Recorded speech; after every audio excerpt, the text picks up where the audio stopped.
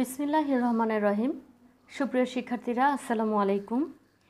ICT e learning ক্লাসে তোমাদেরকে স্বাগতম। আশা করি তোমরা সবাই ভালো আছো। আমি Kumkum Rita, assistant teacher, Bright School and College. শিক্ষার্থীরা, তোমরা ছবিতে দেখতে কী দেখতে পাচ্ছ? ছবিতে দেখতে পাচ্ছ যে একজন কিবোর্ড ব্যবহার করে লেখালেখির কাজগুলো সম্পাদন করছে এবং দ্বিতীয় ছবিটিতে দেখতে পাচ্ছ লেখাগুলো ফরম্যাটিং হচ্ছে এবং তৃতীয় ছবিটিতে দেখতে পাচ্ছ এক- একটি ডকুমেন্ট তৈরি হয়ে গিয়েছে। তো আজকের আলোচনার বিষয় হলো এমএস ওয়ার্ড। আজকের এই পাঠ শেষে মাইক্রোসফট ওয়ার্ড কী তা তোমরা বলতে পারবে। মাইক্রোসফট ওয়ার্ড সম্পর্কে লেখার নিয়মগুলো বর্ণনা করতে পারবে। ওয়ার্ড প্রসেসরে লেখার সুবিধাগুলো তোমরা বিশ্লেষণ করতে পারবে। চলো শিক্ষার্থীরা জেনে নেই যে মাইক্রোসফট কি। মাইক্রোসফট হলো একটি বহুজাতিক আমেরিকান প্রযুক্তি প্রতিষ্ঠান যা প্রতিষ্ঠা করেছে উইলিয়াম হেনরি বিল গেটস এবং এটি ওয়াশিংটনের রেডমন্টে অবস্থিত। উনিশশো পঁচাত্তর সালে এটি প্রতিষ্ঠিত হয়েছে। এরপরে শিক্ষার্থীরা, চলো আমরা জেনে নেই যে অফিস সফটওয়্যার কি। মাইক্রোসফট অফিস হলো একটি প্যাকেজ প্রোগ্রাম। এটি বাজারজাত করেছে এই মাইক্রোসফট কোম্পানি। এই প্রোগ্রামগুলোর মধ্যে সবচাইতে জনপ্রিয় প্রোগ্রাম যেমন এমএস ওয়ার্ড, এমএস এক্সেল এবং এমএস এক্সেস এবং পাওয়ার পয়েন্ট আমরা এমএস ওয়ার্ড ব্যবহার করে লেখালেখির কাজগুলো সম্পাদন করে থাকি, আর এই লেখাগুলো সম্পাদন করাকেই বলা হয় ওয়ার্ড প্রসেসর। তো আমরা যে ওয়ার্ড প্রসেসর ব্যবহার করে লেখালেখি করি, এটার অনেক ধরনের সুবিধা রয়েছে। যেমন এই ওয়ার্ড প্রসেসিংয়ে লিখতে গিয়ে আমরা বিভিন্ন ধরনের সুবিধা পেয়ে থাকি। নির্ভুলভাবে লেখালেখি করতে পারি এবং লেখাকে ছোট, বড়, রঙিন করতে পারি, লেখা মুছে ফেলতে পারি, গ্রাফ, চার্ট, টেবিল যুক্ত করতে পারি এবং একটি ডকুমেন্টকে আরও আকর্ষণীয় করার জন্য এবং সেভ করার প্রয়োজনে সেভ করতে পারি এবং কপিও করতে পারি। বানান ভুল হলে সেটা সংশোধন করতে পারি, যতই বার ইচ্ছা ততবার। এবং প্রিন্ট করা যায় ইলেকট্রনিক যোগাযোগ ব্যবস্থার মাধ্যমে যে কোনো জায়গায় ডকুমেন্টকে প্রিন্ট করা যায়। তো চলো শিক্ষার্থীরা, আমরা কীভাবে একটি নতুন ডকুমেন্ট খুলতে হয় সেটা দেখে নেই। এই পর্দার বাম কোণে নিচের দিকে স্টার্ট বাটন রয়েছে, এখানে আমি ক্লিক করব। ক্লিক করার পর আমার একটি ফ্লাই আউট মেনু আসবে। ফ্লাই আউট মেনুর অল প্রোগ্রাম কমান্ডের উপর আমি মাউস পয়েন্টার স্থাপন করে এখানে ক্লিক করব। ক্লিক করার পরে আমার আরেকটি ফ্লাই আউট মেনু আসবে, এখান থেকে মাইক্রোসফট অফিস আমি ক্লিক করব। মাইক্রোসফট অফিস ক্লিক করার সাথে সাথেই এখানে মাইক্রোসফট অফিসের প্রোগ্রামগুলো আসবে। সেই মাইক্রোসফট অফিস ওয়ার্ড টু আমি ক্লিক করব। ক্লিক করার পরে আমার যে পেজটি আসবে, সেই পেজের বাম কোণে অফিস বাটনে আমি ক্লিক করব। ক্লিক করার পরে আমার এই আইকনগুলো দেখা যাবে। এখন আমি যদি কোনো নতুন ডকুমেন্ট খুলতে চাই, তাহলে আমি নিউ কমান্ডের উপর ক্লিক করব এবং পূর্বে সংরক্ষণ করা ডকুমেন্ট যদি আমি খুলতে চাই, তাহলে আমি ওপেন আইকনে ক্লিক করব এবং যদি আমি ডকুমেন্টটাকে সংরক্ষণ করতে চাই সেভ করতে চাই, তাহলে সেভ আইকনে ক্লিক করব এবং একই ডকুমেন্ট ভিন্ন নামে যদি আমি সংরক্ষণ করতে চাই, তাহলে সেভ এজ আইকনে ক্লিক করব এবং খোলা ডকুমেন্ট যদি আমি বন্ধ করতে চাই, তাহলে আমি ক্লোজ আইকনে ক্লিক করব। শিক্ষার্থীরা, এই আইকনগুলো আমরা দেখে নিই, এগুলো কি? যেমন এটা হলো ওপেন আইকন এটা হলো নিউ আইকন এটা হলো সেভ আইকন আর এটা হলো সেভ এজ আইকন এবং এটা হলো ক্লোজ আইকন শিক্ষার্থীরা, আমরা এই ডকুমেন্টের এই পেজটাকে আমরা এখন এমএস ওয়ার্ডের যে পেজটা আছে, সেই পেজটার পরিচিত হয়ে নেই। এখানে উপরে ডকুমেন্ট ওয়ান মাইক্রোসফট ওয়ার্ড আমি যেই নামে ফাইলটা সেভ করব, সেই নামটাই আমার কি হবে? টাইটেল বার হবে।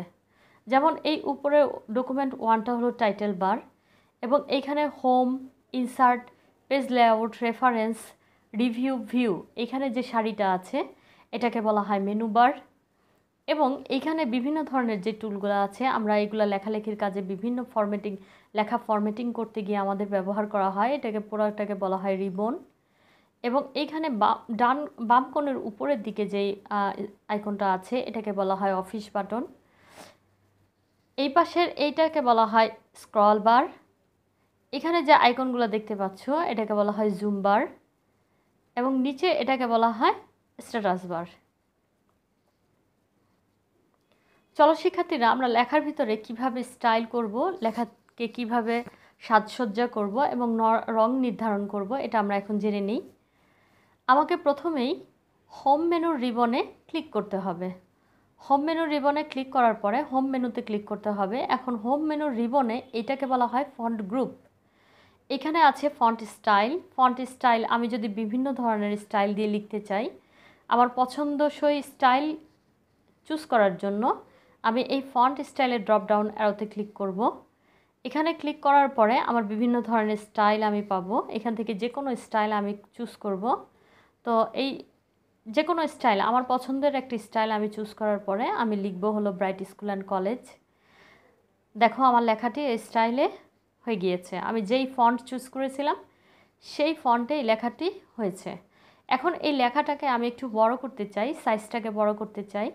তাহলে আমাকে যেতে হবে ফন্ট সাইজ ড্রপডাউন অ্যারোতে। এখানে ক্লিক করার পরে আমার বিভিন্ন সাইজ এখানে প্রদর্শিত হচ্ছে। এখান থেকে আমি থার্টি সিক্স ক্লিক করব। থার্টি সিক্স ক্লিক করার পরে আমার লেখাটা একটু বড় হয়ে যাবে। দেখো আমার লেখাটা একটু বড় হয়ে গেল। এখন আমি এই লেখাটাকে একটু কালার দিতে চাই। ধরো আমি এই লেখাটাকে লাল কালার দিব। তখন আমি এই কালার আইকনে যাব। এইখানে ড্রপ ডাউন অ্যারোতে ক্লিক করার পরে আমার একটি কালার সোয়াচ আসবে। এই কালার সোয়াচের এই রেড কালার আমি যদি চুজ করি এবং আমার লেখাটা কি হয়ে যাবে?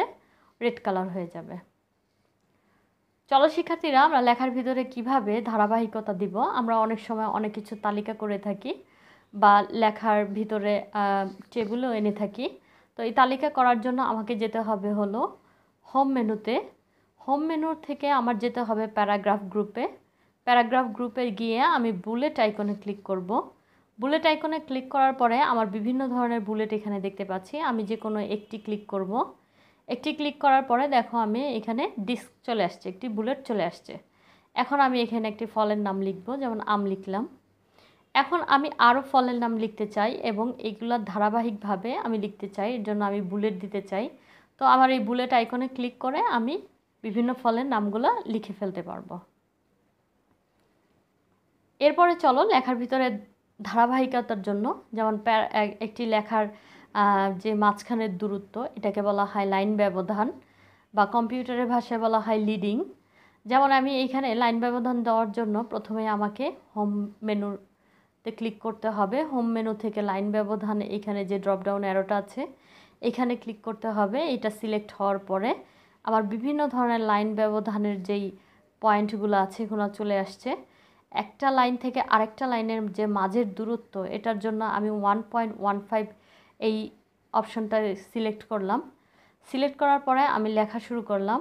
এই যে মাঝখানের যে লাইনের দূরত্ব, এটা ওয়ান পয়েন্ট ওয়ান ফাইভ ইঞ্চি ই হয়েছে, ব্যবধি, ব্যবধান হয়েছে। এখন আমি এই মাঝখানের দূরত্বটা আরেকটু বাড়াতে চাই। এজন্য আমি টু পয়েন্টে ক্লিক করলাম। টু পয়েন্টে ক্লিক করার পরে আমার মাঝখানের দূরত্বটা আরেকটু বেড়ে গেল। শিক্ষার্থীরা, আমরা নিশ্চয়ই নিশ্চয়ই বুঝতে পেরেছি যে আমাদের মাঝখানের দূরত্বটা কীভাবে আমরা এখান থেকে সিলেক্ট করে নিতে পারি। চলো শিক্ষার্থীরা, এই প্রশ্নগুলোর উত্তর যে আমরা পারি কিনা একটু দেখে নেই। ওয়ার্ড প্রসেসর কি? প্যারাগ্রাফ গ্রুপে কি আইকনের কমান্ড পাওয়া যায়? দুটি লাইনের দূরত্বের জন্য কোন টুল ব্যবহার হয়? নিশ্চয়ই তোমরা এই প্রশ্ন উত্তরগুলো পারো। তো শিক্ষার্থীরা ধন্যবাদ তোমাদেরকে। আজকে এই পর্যন্তই। পরবর্তী ক্লাসের আমন্ত্রণ জানিয়ে আমি শেষ করছি।